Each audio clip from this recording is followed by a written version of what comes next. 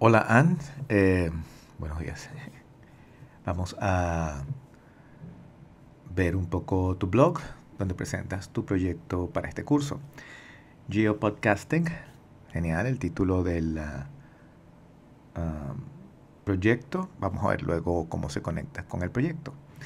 Eh, siempre le he dicho a, los, a tus compañeros que han estado utilizando imágenes para sus blogs que es importante identificar quién es el autor.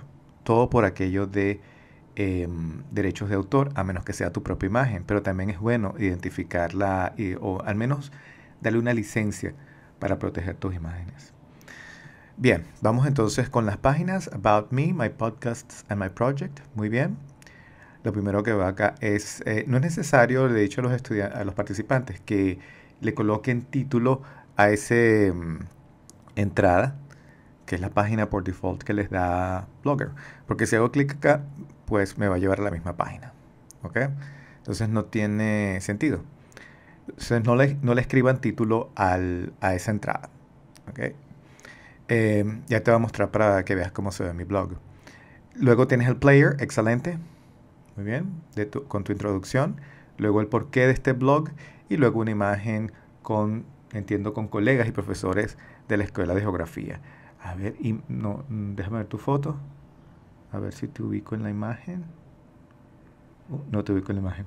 Siempre es bueno identificar, ayudar, sobre todo al visitante, al estudiante, alguien que esté interesado en revisar tu blog, eh, describir la imagen como lo muestro yo en mi blog. Vamos a mi blog un momento para que veas. Ok, acá estamos. Fíjate que no tengo acá un título para esta entrada, que es la página por default que nos da Blogger, ¿verdad?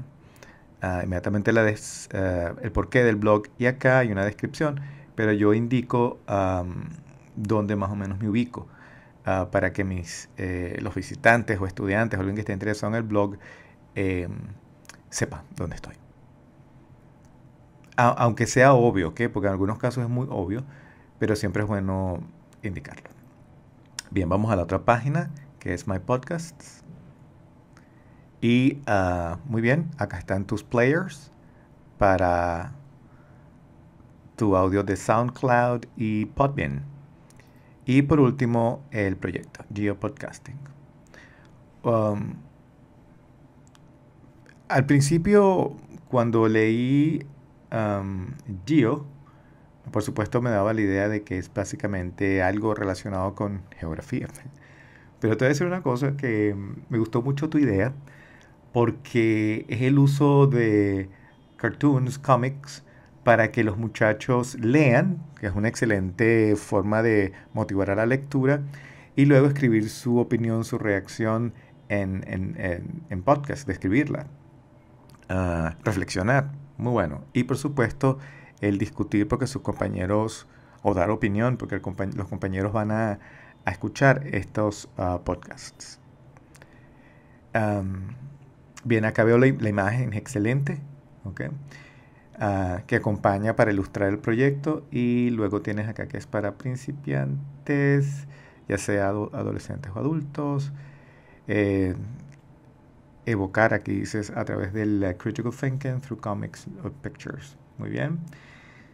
Ah, se va a leer y por supuesto se va a decir algo, se va a producir algo, se va a decir algo con respecto a la al cómics, que esto sí es speaking, porque acá el, estudiante lee y luego va a hablar acerca de ese cómics que leyó o que visitó durante la semana.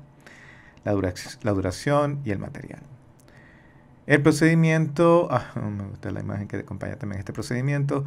Em, ok, el profesor, entiendo, selecciona ah, o los estudiantes también pueden buscar un cómics que a ellos les guste eh, los estudiantes graban un podcast sobre ese cómics y van a reflexionar que esto sí es speaking. No es leer el, texto, sino reflexionar sobre lo que leyeron. Muy bien.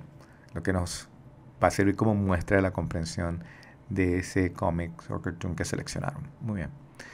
Ah, los estudiantes o los compañeros de los muchachos van a visitar el blog o donde tienen alojado el, audio y dar su opinión, escribir comentarios. Muy bien.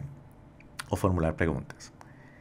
El profesor entrena a los estudiantes al uso de SoundCloud, uh, cómo subir imágenes y responder. Este 4 debería estar en... A ver. En el eh, número 2. Y luego el número 3 sería lo que es el número 2. Porque el entrenamiento debería estar antes de proceder a la grabación, ¿verdad? Entonces en la descripción este 4 debería estar más o menos como por acá, debería ser el número 2. Eh, me gusta mucho tu idea, ah, y a ver la aclaratoria que haces acá, de continuar con la actividad. Eh, me gusta mucho tu idea para ah, el uso de podcasts. Genial.